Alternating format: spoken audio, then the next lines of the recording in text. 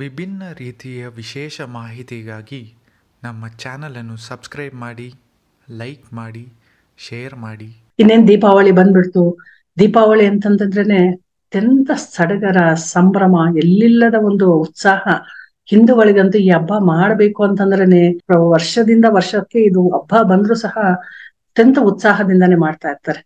ಚಿನ್ನ ಬೆಳ್ಳಿ ಖರೀದಿ ಮಾಡೋದ್ರಿಂದ ಹಿಡಿದು ದೀಪಗಳನ್ನ ಸಾಲು ಸಾಲಾಗಿ ಹಚ್ಚಿ ದೀಪದ ಬೆಳಕಿನಲ್ಲಿ ಆ ಮಹಾಲಕ್ಷ್ಮಿಯನ್ನ ಆರಾಧನೆ ಮಾಡಿ ತಮ್ಮಲ್ಲಿರ್ತಕ್ಕಂಥ ಎಲ್ಲ ಕಷ್ಟ ನಷ್ಟಗಳು ಬಡತನವನ್ನ ದೂರ ಮಾಡಿಕೊಂಡು ಈಗಲಾದ್ರೂ ತುಂಬಾ ಚೆನ್ನಾಗಿ ಬದುಕಬಹುದು. ನಾವು ಇದಕ್ಕಿಂತ ಒಳ್ಳೆ ಸಂದರ್ಭ ಇರೋದಿಲ್ಲ. ಲಕ್ಷ್ಮಿಯ ಅನುಗ್ರಹಕ್ಕೆ ಪಾತ್ರರಾಗೋದಕ್ಕೆ ಅಂತ ಹೇಳಿ ಕಾಯ್ತಾ ಇರ್ತಕ್ಕಂಥ ಹಬ್ಬ ಈ ದೀಪಾವಳಿ. ದೀಪಾವಳಿ ಹಬ್ಬವನ್ನ ಐದು ದಿನ ಆಚರಣೆ ಮಾಡ್ತಾರೆ. ಮೊಟ್ಟ ಮೊದಲಿಗೆ ಆಚರಣೆ ಮಾಡ್ತಕ್ಕಂಥದ್ದು ಧನ ತ್ರಯೋದಶಿ ದಿನದಿಂದ. ಧನ ತ್ರಯೋದಶಿ ಅಂತಂದ್ರೇನೆ ಹದಿಮೂರನೇ ದಿನ ಬರ್ತಕ್ಕಂಥದ್ದು. ಧನ ಅಂತಂದ್ರೆ ದುಡ್ಡು ಅಥವಾ ಹಣ ಅಥವಾ ಒಂದು ಸಂಪತ್ತು ಅಂತ ಹೇಳ್ಬೋದು. ತ್ರಯೋದಶಿ ಅಂತಂದ್ರೆ ಕೃಷ್ಣ ಪಕ್ಷದ ಒಂದು ದಿನಗಳಲ್ಲಿ ಬರ್ತಕ್ಕಂಥ ಹದಿಮೂರನೇ ದಿನ ಅಂದ್ರೆ ಅಮಾವಾಸ್ಯೆಗಿಂತ ಮುಂಚೆ ಬರ್ತಕ್ಕಂತಹ ದಿನ ಆಗಿರುತ್ತೆ. ತ್ರಯೋದಶಿ ಇದನ್ನ ಧನಥೇರಸ್ ಅಂತಾನು ಕರೀತಾ ಇರ್ತಾರೆ. ಈ ಒಂದು ದಿನದಲ್ಲಿ ಏನೆಲ್ಲ ತಗೊಂಡ್ರೆ ನಮ್ಮ ಜೀವನ ವೃದ್ಧಿ ಆಗುತ್ತೆ? ನಮ್ಮ ಒಂದು ಆ ಸಂಪತ್ತು ಏಳಿಗೆ ಆಗುತ್ತೆ, ಅಭಿವೃದ್ಧಿ ಆಗುತ್ತೆ, ಇಷ್ಟು ವರ್ಷ ಆಗದೆ ಇರ್ತಕ್ಕಂಥದ್ದು ಸಹ ಮುಂದೆ ಆಗಬೇಕು ಅಂತ ಬಯಸೋರೆಲ್ಲರೂ ಸಹ ಈ ಒಂದು ಮೆಟ್ಟಲಿನಿಂದ ಇನ್ನೊಂದು ಮೆಟ್ಟಲು ನಾವು ಹೇರ್ಬೇಕು, ನಮ್ಮ ಜೀವನದಲ್ಲಿ ತೃಪ್ತಿಯ ಭಾವ ಇರಬೇಕು, ಕಳ್ಕೊಂಡಿದ್ದೆಲ್ಲ ನಮಗ್ ಬರಬೇಕು, ನಾವು ಒಂದೊಂದೇ ಹೆಜ್ಜೆ ಮುಂದೆ ಹೋಗ್ಬೇಕು, ನಮ್ಮಲ್ಲಿ ಯಾವುದೇ ಒಂದು ವಸ್ತು ತಗೊಂಡು ಏನೇ ಒಂದು ಜೀವನದಲ್ಲಿ ಆಗ್ತಾ ಇದ್ರು ಅದು ಅಭಿವೃದ್ಧಿಯತ್ತ ಸಾಗಬೇಕು ಅನ್ನೋದಾದ್ರೆ ಈ ದಿನ ಇವುಗಳನ್ನ ಕೊಂಡುಕೊಂಡ್ರೆ ತುಂಬಾ ತುಂಬಾ ಒಳ್ಳೆ ಶ್ರೇಷ್ಠವಾದ ಫಲ ಸಿಗ್ತಕ್ಕಂಥದ್ದು. ಈ ದಿನ ಸಾಗರದಿಂದ ಆ ಮಹಾಲಕ್ಷ್ಮಿ ಉದ್ಭವ ಆದಳು ಅನ್ನೋ ಒಂದು ಉಲ್ಲೇಖ ಇರುತ್ತೆ. ಜೊತೆಗೆ ಆಯುರ್ವೇದದ ಪಿತಾಮಹನಾದ ಧನ್ವಂತರಿ ದೇವತಾನ ಅಮೃತ ಕಳಶವನ್ನು ತನ್ನ ಕೈಯಲ್ಲಿ ಇಟ್ಕೊಂಡು ಮೇಲೆ ಬಂದು ಎಲ್ಲರಿಗೂ ಆರೋಗ್ಯವನ್ನು ಕೊಡ್ತಕ್ಕಂಥನು. ಹಾಗಾಗಿ ಸಂಪತ್ತು, ಆರೋಗ್ಯ ಅನ್ನೋದು ಅಭಿವೃದ್ಧಿ ಆಗುತ್ತೆ. ಇದೆರಡು ನಮಗೆ ತುಂಬಾ ಮುಖ್ಯವಾಗಿ ಬೇಕಾಗಿರ್ತಕ್ಕಂಥದ್ದು. ಈ ದಿನ ಎಷ್ಟೋ ಜನ ಬಂಗಾರವನ್ನ ತಗೊಳ್ತಾ ಇರ್ತಾರೆ, ಬೆಳ್ಳಿಯನ್ನ ತಗೊಳ್ತಾ ಇರ್ತಾರೆ, ಸಂಪತ್ತು ಅಭಿವೃದ್ಧಿ ಆಗ್ಲಿ ನಮ್ಮ ಹತ್ರ ಇದೇ ರೀತಿ ಒಡವೆ, ವಸ್ತ್ರ ಎಲ್ಲ ಜಾಸ್ತಿ ಆಗ್ಲಿ ಅಂತ ಬಯಸ್ತಾ ಇರ್ತಾರೆ. ಎಷ್ಟೋ ಜನ ಸಾಲ ಮಾಡಿ ಈ ಬಂಗಾರವನ್ನ, ಬೆಳ್ಳಿಯನ್ನ ತಗೊಳ್ತಾರೆ. ಆದ್ರೆ ಸಾಲ ಮಾಡೋದು ಬೇಡ. ಪ್ರತಿಯೊಬ್ಬರಿಗೂ ಗೊತ್ತು, ಸಾಲ ಮಾಡಿದ್ರೆ ತುಂಬಾ ತೊಂದರೆ ಆಗುತ್ತೆ. ಮತ್ತೆ ಕಷ್ಟಕ್ಕೆ ಬೀಳ್ತಾರೆ ಅನ್ನೋದು. ಸಾಲ ಎಲ್ಲ ಮಾಡಿ ತಗೊಳ್ಳೋದು ಬೇಡ. ಏನಿರುತ್ತೋ ಅದನ್ನ ತಗೊಳ್ಬೇಕು, ಎಷ್ಟಾಗುತ್ತೋ ಅಷ್ಟು ತಗೊಳ್ಬೇಕು. ಯಾವುದು ನಿಜವಾಗ್ಲೂ ಸರಳವಾಗಿ ತಗೊಳಕ್ಕಾಗುತ್ತೋ ಅಂತದನ್ನ ಮಾತ್ರ ತಗೊಂಡ್ರೆ ತುಂಬಾ ಶ್ರೇಷ್ಠ ಅಂತ ನಾನು ಹೇಳ್ತಿರ್ತೀನಿ. ಬಂಗಾರವನ್ನೇ ತಗೊಳ್ಬೇಕು ಅಂತಲ್ಲ, ಇರೋರು ತಗೊಳ್ಬಹುದು, ಇಲ್ದೇ ಇರ್ತಕ್ಕಂಥವ್ರು ತಗೊಳಕ್ ಆಗ್ಲಿಲ್ವಲ್ಲ ಅಂತ ಕೊರಗಬಾರ್ದು. ಮುಂದೆ ಬರೋ ವರ್ಷದಲ್ಲಿ ತಗೊಳ್ಳುವಂತಹ ಸ್ಥಿತಿ ನಮ್ಗೆ ಉಂಟಾಗ್ಲಿ ಅಂತ ತಾಯಿಯಲ್ಲಿ ಪ್ರಾರ್ಥನೆಯನ್ನು ಮಾಡ್ಬೇಕು. ಬಂಗಾರ ತಗೊಳಕ್ ಆಗ್ಲಿಲ್ಲ ಅಂತಂದ್ರೆ ಏನು? ಬೆಳ್ಳಿಯನ್ನು, ಬೆಳ್ಳಿಯ ನಾಣ್ಯವನ್ನು ತಗೊಳ್ಬಹುದು, ದೇವರ ಫೋಟೋಗಳನ್ನ ತಗೊಳ್ಬಹುದು. ಅಥವಾ ತಾಮ್ರದ ಇತ್ತಾಳೆಯ ಪಾತ್ರೆಗಳನ್ನ ಅಥವಾ ಅಂತಹ ನಾಣ್ಯಗಳನ್ನ ತಗೊಳ್ಬಹುದು. ಇನ್ನು ಮುಖ್ಯವಾಗಿ ಧನ ತ್ರಯೋದಶಿ ದಿವಸ ಮಾಡ್ಬೇಕಾಗಿರ್ತಕ್ಕಂಥದ್ದು ಏನು ಅಂತಂದ್ರೆ, ಅಂದ್ರೆ ತಂದ್ಕೊಳ್ಬೇಕಾಗಿರ್ತಕ್ಕಂಥದ್ದು. ಚಿನ್ನ, ಬೆಳ್ಳಿ ಆಗ್ಲಿಲ್ಲ ಅಂತಂದ್ರೆ ದೇವರ ಫೋಟೋಗಳನ್ನ, ವಿಗ್ರಹಗಳನ್ನ ಮನೆಯಲ್ಲಿ ಇಲ್ಲ ಅಂತಂದ್ರೆ ತಗೊಂಡ್ ಬಂದು ಪೂಜೆ ಮಾಡಬಹುದು. ಪುಸ್ತಕಗಳನ್ನ, ಪೆನ್ನುಗಳನ್ನ ತಗೊಳ್ಬಹುದು. ವಾಹನಗಳನ್ನ ತಗೊಳ್ಬೇಕು ಅನ್ನೋರು ವಾಹನ ತಗೊಳ್ಬಹುದು.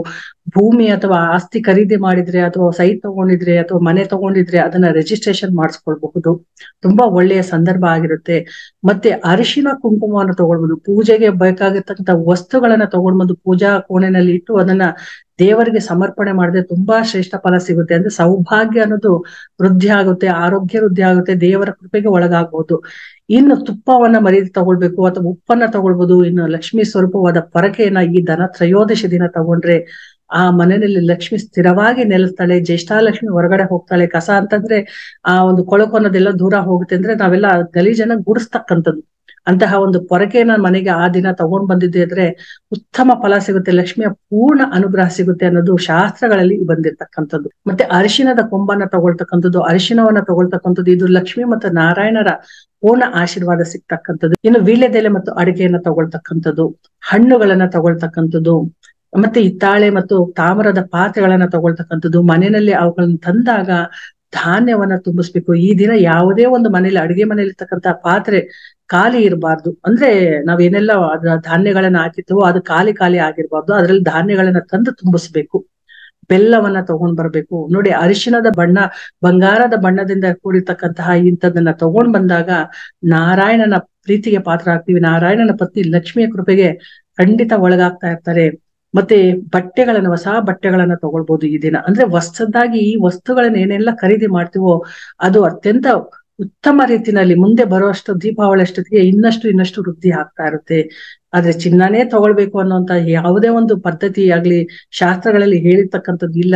ಇರೋರು ತಗೊಳ್ಬಹುದು ಇಲ್ಲದೆ ಇರ್ತಕ್ಕಂಥವ್ರು ಈ ವಸ್ತುಗಳಲ್ಲಿ ಯಾವ್ದಾದ್ರೂ ಒಂದನ್ನಾದ್ರೂ ಮನೆಗೆ ತಗೊಂಡ್ ಬರ್ಬೇಕು.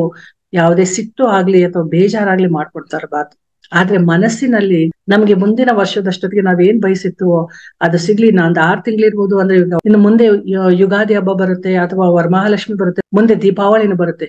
ಆ ಒಂದು ವರ್ಷದಲ್ಲಿ ಯಾವ್ದಾದ್ರೂ ಒಂದು ಸಮಯದಲ್ಲಿ ನಮಗೆ ಇಷ್ಟವಾದದನ್ನ ಕೊಂಡುಕೊಳ್ಳುವಂತಹ ಪರಿಸ್ಥಿತಿ ನಮಗೆ ಬರ್ಲಿ, ಅಂತಹ ಒಂದು ಯೋಗ ನಮ್ಗೆ ಕೂಡಿ ಬರ್ಲಿ, ಅಂತಹ ಒಂದು ಕರ್ತವ್ಯವನ್ನ ಮಾಡಿ ನಾವು ಸಂಪಾದನೆಯನ್ನ ಮಾಡುವಂತ ಶಕ್ತಿ ಬರ್ಲಿ, ಅಂತಹ ಮನಸ್ಸು ಬರ್ಲಿ ಅಂತ ಪ್ರಾರ್ಥನೆ ಮಾಡ್ಕೊಳ್ಬೇಕು.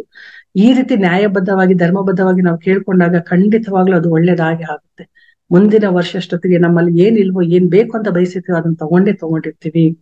ಈ ರೀತಿ ಮಾಡ್ಬಹುದಲ್ವಾ ಇನ್ನು ಧನ ತ್ರಯೋದಶಿ ದಿವಸ ವಸಲಿನ ಮುಂದೆ ದೀಪವನ್ನ ಹಚ್ಚಬೇಕು. ಇದು ಯಮ ದೀಪ ಅಂತಾನೆ ಹೇಳ್ತೀವಿ.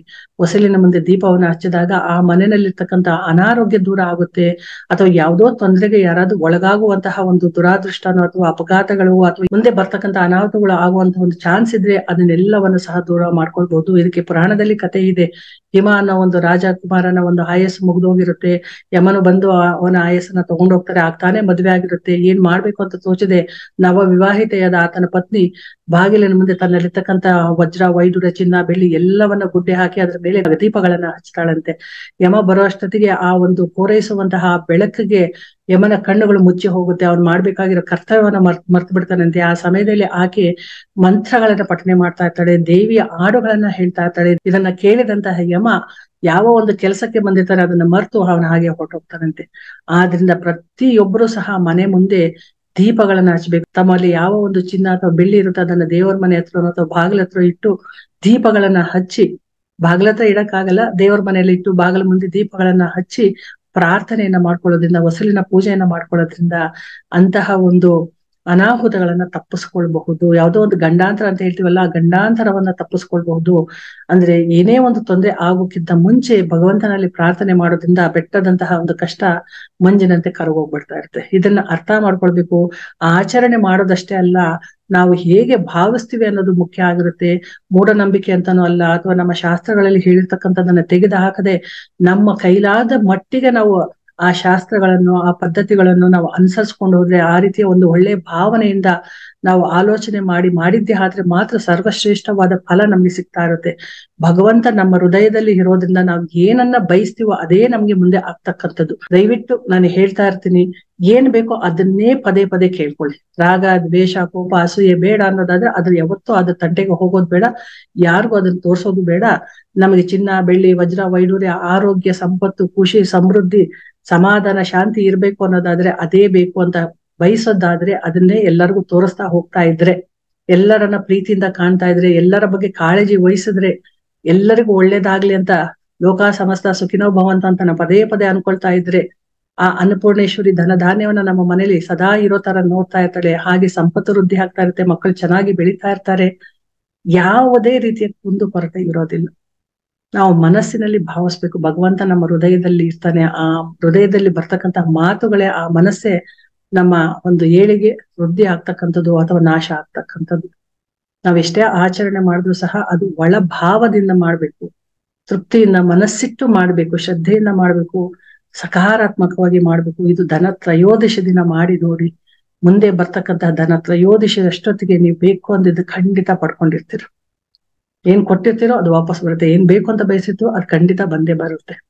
ಸೊ ಮತ್ತೆ ಇಂತಹ ಒಂದು ಸಮಯ ಯಾವ ಸಮಯದಲ್ಲಿ ತಗೊಳ್ಬೇಕು ಅಂದ್ರೆ ಈ ಸಲ ಹತ್ತನೇ ತಾರೀಕು, ನವೆಂಬರ್ ಹತ್ತನೇ ತಾರೀಕು ಬಂದಿರೋದ್ರಿಂದ ಶುಕ್ರವಾರ ಆಗಿರುತ್ತೆ ಅದು.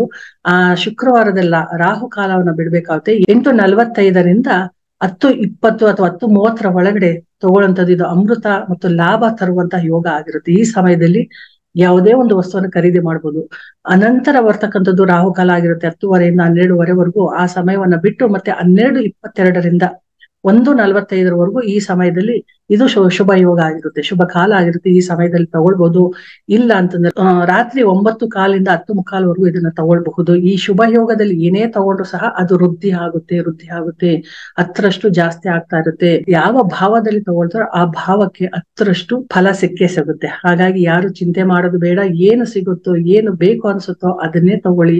ಚಿನ್ನ, ಬೆಳ್ಳಿ ಬಗ್ಗೆ ಮಾತ್ರ ಯೋಚನೆ ಮಾಡಬೇಡಿ. ಇನ್ನು ಎಷ್ಟೊಂದು ವಸ್ತುಗಳನ್ನ ಖರೀದಿ ಮಾಡ್ಬೋದು ಅಂತ ಹೇಳಿದೀವಲ್ಲ, ಅದ್ರಲ್ಲಿ ಯಾವ್ದಾದ್ರು ಒಂದನ್ನ ಅದು ಅಂದ್ರೆ ತುಂಬಾ ಒಳ್ಳೇದಾಗುತ್ತೆ. ಇನ್ನೊಂದು ವಿಚಾರ ಹೇಳೋದು ಮರ್ತಿದ್ದೆ. ಲಕ್ಷ್ಮಿ ಕುಬೇರ ಯಂತ್ರವನ್ನ ಬರ್ದು ಅಥವಾ ಆ ಯಂತ್ರ ಸಿಗುತ್ತೆ, ಅದನ್ನ ಇಟ್ಟು ಕಾಮಾಕ್ಷಿ ದೀಪವನ್ನ ಹಚ್ಚಿ ದೀಪಗಳನ್ನ ಮನೆಯಲ್ಲಿ ಹಚ್ಚಿ ಎಷ್ಟು ಸಾಧ್ಯವಾಗುತ್ತೋ ಅಷ್ಟು. ನಮ್ಗೆ ತುಂಬಾ ಕಷ್ಟ, ದೀಪಗಳನ್ನು ಹಚ್ಚಕ್ ಆಗಲ್ಲ ಅಂತ ಎಷ್ಟೋ ಜನ ಹೇಳ್ತಾ ಇರ್ತಾರೆ. ಹೊಸಲಿನ ಮುಂದೆ ಎರಡು ದೀಪ, ಖಂಡಿತವಾಗ್ಲೂ ತುಳಸಿ ಕಟ್ಟೆ ಮುಂದೆ ದೀಪಗಳನ್ನ ತಪ್ಪದೆ ಹಚ್ಚಬೇಕು. ತುಪ್ಪದ ದೀಪವನ್ನ ಎಣ್ಣೆ ದೀಪವನ್ನ, ಅವರವರ ಶಕ್ತಾನುಸಾರವಾಗಿ ದೀಪಗಳನ್ನ ಹಚ್ಚಿ ನೋಡಿ ಖಂಡಿತವಾಗ್ಲೂ ಒಳ್ಳೇದಾಗುತ್ತೆ.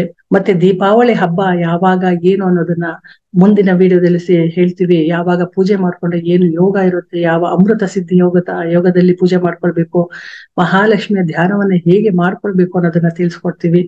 ಮುಂದಿನ ವಿಡಿಯೋದಲ್ಲಿ ನೋಡೋಣ.